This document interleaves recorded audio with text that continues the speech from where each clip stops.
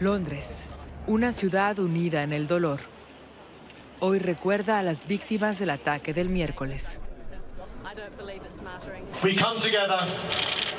Esta noche nos hemos reunido como londinenses para conmemorar a los que perdieron la vida y a todos los afectados por el horrible ataque de ayer.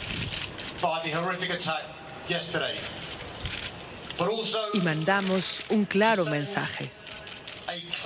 El terrorismo no intimidará a los londinenses.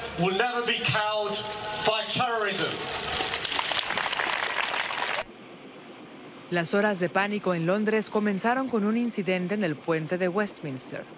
El atacante, un británico nacido en Kent llamado Khalid Mossoud, arrolló con su auto varios peatones. Turistas y vecinos huían presa del pánico.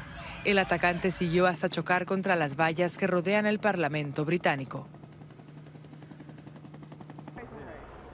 Abandonó su auto y logró adentrarse en los jardines del Parlamento, donde mató de una cuchillada al agente de la policía, Keith Palmer. Las escenas de pánico fueron captadas por ese video hecho con un celular. Se escuchan los tiros que al final mataron al atacante. La policía cree que actuó solo. Apenas 24 horas después del ataque, los londinenses volvieron al emblemático puente, muchos para conmemorar las víctimas del brutal ataque, otros con la simple determinación de volver a la normalidad.